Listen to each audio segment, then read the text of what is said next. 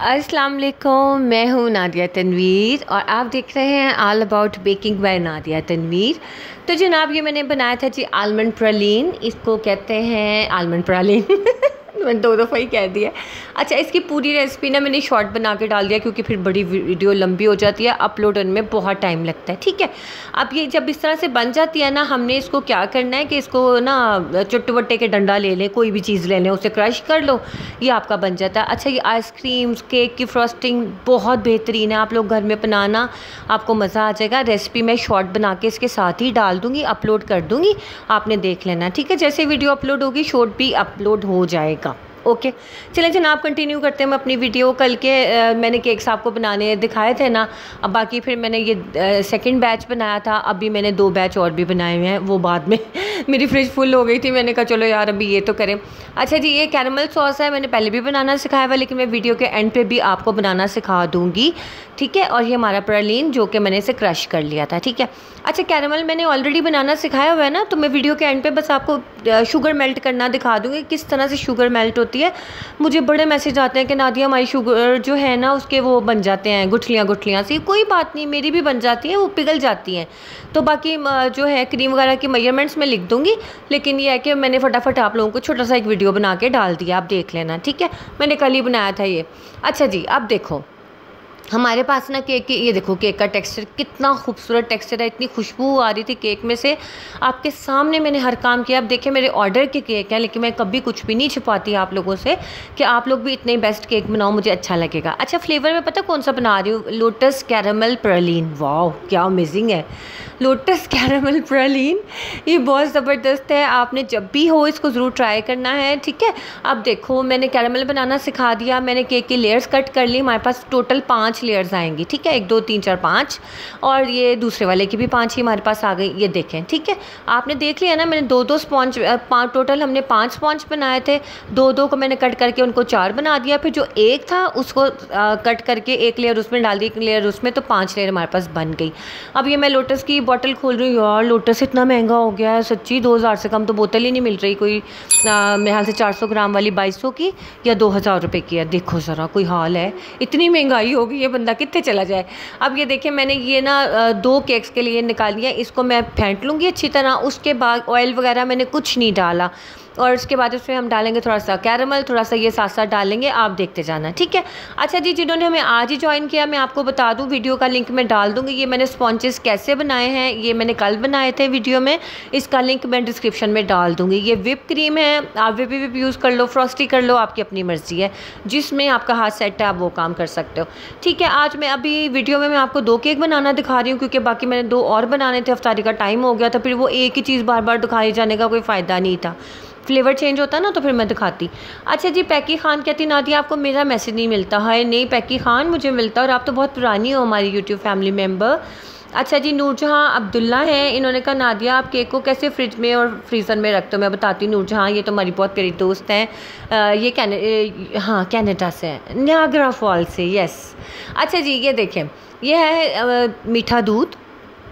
ये आपने दूध लेके ना, उसको अच्छी तरह से बॉईल करके उसमें दो तीन टेबल स्पून चीनी के डालते ना, मुनासिब सी चीनी हो बस मीठा दूध हो जाए। ठीक है उससे मैं सोख करी उसमें एक चम्मच वनीला एसेंस डाल देना, बड़ा अच्छा आपका सोकिंग सिरप बन जाता है। ठीक हो गया? अच्छा जी, नूरजहाँ, मैं पता क्या करती हूँ केक्स को मैंने क्लिंग रैप करके मैं उसे फ्रीज़र में रख देती हूँ। आराम से मैंने जब यूज़ करना और निकालती हूँ काउंटर टॉप पर रखती हूँ, वो तीन चार घंटों में नरम हो जाता है और आराम से इस्तेमाल कर लेती हूँ। आप अपने केक स्पॉन्चेस को कम अज़ कम दो से तीन महीने भी फ्रीज़र में रख सकते हो। फ्रिज में नहीं फ्रीज़र में क्लिंग रैप करके, बस पानी ना लगे उन्हें। ठीक हो गया। अच्छा जी, आयला खान के बहुत प्यारे मैसेज थे, सरवत बेक के ट्रिब्यून बेकर्स के केक्स बाय नजवा के, और ये तो हमेशा ही बहुत प्यारे मैसेज करती हैं। अच्छा जी, निदा निदाज रूटीन के, निदा ने कहा, नादिया, मेरे लिए भी दुआ करें, अल्लाह ताला मुझे बेटे की नेमत से नवाजे। इन निदा, बहुत सारी दुआएँ आपके लिए सोने। अल्लाह ताला आपको बहुत सेहतमंद, तंदुरुस्ती वाली औरात से नवाजे और आप लोगों को खुशियाँ देखनी नसीब करें। आमीन सुमा आमीन। अब ये देखिए, जनाब, मैंने डाला कैरमल सॉस, कैरमल के अंदर मैंने डाला थोड़ा सा लोटस लोटस के ऊपर मैंने डाला ये प्रलीन। और जब आप ये केक खाएँगे, आपको बहुत मज़ा आएगा। आप लोग घर में डिज़र्ट्स के ऊपर ये बना के डालो। वॉलनट प्रलीन होता है मेरे हाल से पीनट प्रलीन भी होता है, और ये मैं आलमंड प्रलीन पर्सनली मुझे ज़्यादा पसंद है। ठीक है। अच्छा जी, अब इसके बाद क्या है? फौजी, फ़ायज़ा मजीद का बहुत, फ़ायज़ा माजिद यस उन्होंने करेक्ट भी किया था कि नादिया मजीद नहीं, माजिद। जी, फ़ायज़ा आपका भी बहुत प्यारा मैसेज था, उन्होंने हमिंग बर्ड केक बनाया था और उन्होंने मुझे भेजा था इंस्टाग्राम पे। बहुत ज़बरदस्त था, बहुत अच्छा फ़ायदा अच्छा जी, लुबना बतूल का भी बहुत प्यारा मैसेज होता है हमेशा। शाहीन कौसर का बहुत दिनों बाद मैसेज आया। Thank you so much Shaheen. कैसी हो आप? बड़े दिनों बाद आपका मुझे मैसेज मिला। अच्छा जी, फ़रा है।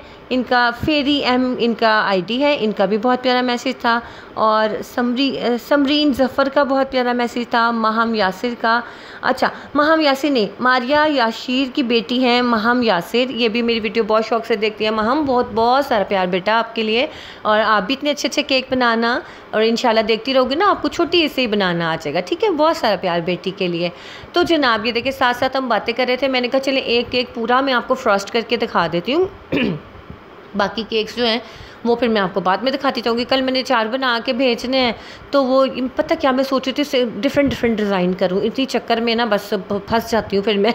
आप लोगों को सिखाने के चक्कर में ना खुद मैं टेंशन में आ जाती हूँ। वरना तो साथ ही साथ ही आपको पता है, ईद के केक होते हैं। वन से फ्लावर बनाओ कलर बनाओ, चलो जी गल मुकाओ लेकिन नहीं, फिर मैंने कहा, चलो मैं अपनी यूट्यूब फैमिली को दो तीन आइडियाज़ दे दूँगी। तो इन फिर हम इनकी डिज़ाइनिंग भी मिल के ही करेंगे, कल करेंगे। अच्छा जी, रोज़े बड़ी जल्दी गुजर के ईद आने वाली है, खैर से बच्चों की सारी तैयारियाँ हो गई शुक्र अलहमदिल्ला दर्जियों से कपड़े आ गए, जूते आ गए, सारे काम हो गए हैं, बस अब बाकी मीठा वगैरह बनाना है। अच्छा कल मुझे पता नहीं कौन मैसेजेस में कह रहा था कि नादिया, आप ना हमें अपनी ईद की रूटीन बताना। कोई ख़ास रूटीन नहीं होती, हम तो बस ईद की नमाज़ पढ़ के और वो शीर वगैरह खा के, खाना खाना खा के, चलो भाई, सब सो जाते हैं। मैं भी सो जाती हूँ क्योंकि सब रोज़ों के थके भी होते हैं, फिर सुबह का नाश्ता एक महीने बाद आप करते हो, वरना तो सैरी खाते हैं। तो वो एक आदत नहीं होती गनूदगी से आती है, सब भी सो जाते हैं, फिर दोपहर को, शाम को, फिर खाना वगैरह अम्मी की तरफ़ तो मैं सेकेंड डे जाती हूँ, टरू वाले दिन जाते हैं हम लोग। और फिर ये होता है कि भाइयों के घर चले गए बहुत अच्छा लगता है, जैसे यहाँ पे मेरा ससुराल है, वहाँ चले जाते हैं, बड़ा मज़ा आता है। तो इस तरह से होता है। फिर एक दो दिन ज़्यादा बिज़ी होते हैं फैमिलीज़ में बंदा घूम फिर लेता है।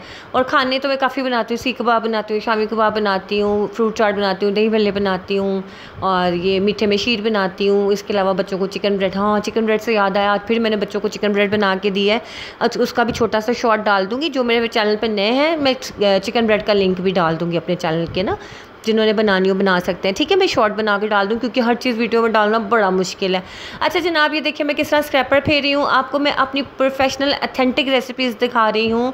अथेंटिक वे में आपको बता रही हूँ कि आप लोगों ने भी नेक्स्ट ईद पे ऐसे केक ना ना बनाए तो बस फिर मुझे आ जाना है गुस्सा। फिर मैंने बन जाना है ालम टीचर तो आप लोग भी मुझे बहुत ख्वाहिश है कि माशाल्लाह माशाल्लाह इंस्टाग्राम में और ये कमेंट्स में आप लोग बताते हो कि हमने केक बनाया, ये चीज़ बनाई। ज़बरदस्त बनी, मुझे बहुत खुशी होती है, बहुत खुशी होती है।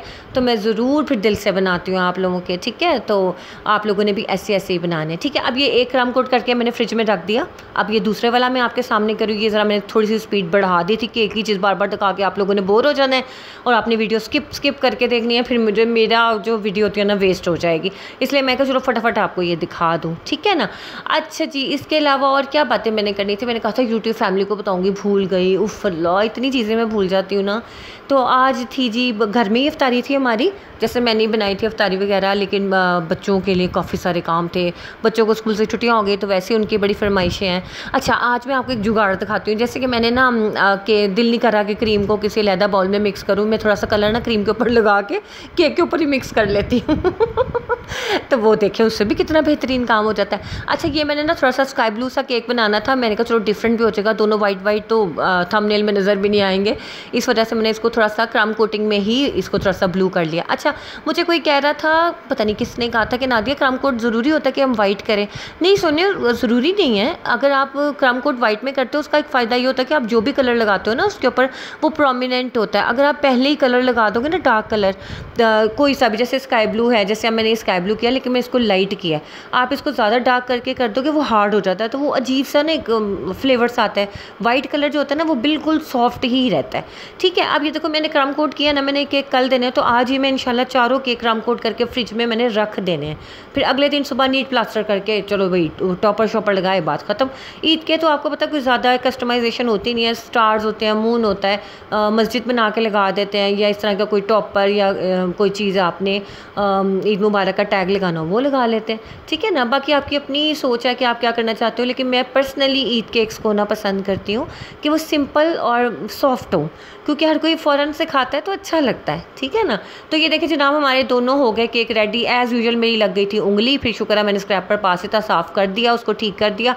अब ये देखें पूरे लेवल एक जितने बने हैं तीन तीन पॉइंट के, बाकी इस पर तकरीबन सौ, डेढ़ सौ ग्राम ऊपर इसका फाइनल प्लास्टर होगा तो हमारा केक हो जाएगा रेडी अच्छा जी, ये कैरमल सॉस मैंने बनाने सिखाया हुआ है, लेकिन मैं कहा, चले, मैं आप लोगों को सिखा दूँ, ये दो कप चीनी है, ठीक है?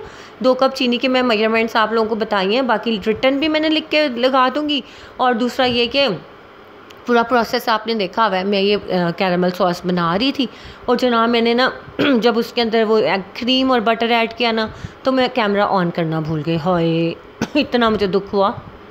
खैर, वो तो आपने ऑलरेडी देखा ही हुआ है ना। बस आपने ये करना होता है इसको कि आपने ना जब चीनी अच्छे से मेल्ट हो जाए। अच्छा आप जो यूट्यूब चैनल देखोगे ना, वो आपको यही कहेंगे don't stir don't don't stir आपने चम्मच नहीं चलाना। ना चलाएँ सारा सड़ के सुहा हो जाना है। मैंने तो ये तजर्बे से सीखा है कि आप इसमें लाजमी चम्मच चलाएँ, वरना क्या होगा, कहीं से शुगर पक जाएगी, कहीं से कड़वाहट आ जाएगी।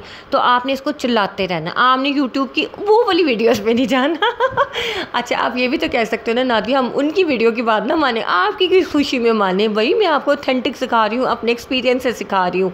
तो आपने चम्मच चलाते रहना। अब ये देखो ये जो दूध मैंने रखा था ना ये मैंने आ, मिल्क सिरप बनाया था ठीक है? जो मैंने अभी सोख किया ना केक्स को कि मैंने दूध को चूल्हे पर रखा गर्म हुआ उसके अंदर तीन टेबल स्पून चीनी डाल के ये हंसबे मीठा मेरा तो रोज़ा था मैंने चखा नहीं मैंने अंदाजे से डाला था बिल्कुल ठीक था। तो आपने उसे डाल के, उबाल के, फिर ठंडा करके आपने केक को उससे सोख करना है। ठीक हो गया? दूध से अगर आपने करना है। वरना अगर कंडेंस मिल्क से करना हो तो एक टिन लो आपने और पानी लेके उसको मिक्स कर दोगे तो वो पतला सा कंडेंस मिल्क का आपका सिरप रेडी हो जाता है। ठीक है? अब ये देखो मैंने नमक ना इसी स्टेज पे डाल दिया था। अक्सर लोग बाद में डालते हैं मैं भी बाद में डालती हूँ लेकिन आपने जल्दी थी तो मैंने पहले ही डाल दिया कोई फ़र्क नहीं पड़ता उससे। आपने अब ये देखो हाँ आ, कौन थी? महविश आपने मुझसे पूछा था नातिया मैं कैरमल बनाती हूँ लम्स बनते हैं शुगर के सोने ऐसे ही बनते हैं। देखो मेरे भी बन रहे हैं ना कोई मसला नहीं है कोई परेशानी की बात नहीं ये आप मेल्ट हो जाएँगे। जैसे आप इसमें बटर क्रीम डालोगे ये मेल्ट हो जाएँगे। ये देखें अभी मैंने ये मेजरमेंट्स आपको लिख के दिखा दिए। हाफ़ कप क्रीम है, आपने हंड्रेड ग्राम ले लेनी है क्रीम, ठीक है? और उसके बाद आपने चार टेबल स्पून जो है बटर के ले लेने हैं और ये आपका कैरमल सॉस रेडी। ठीक है जनाब, ये थी आज की वीडियो, कैसी लगी ज़रूर बताइएगा दुआ में याद रखिएगा। अल्लाह हाफिज़।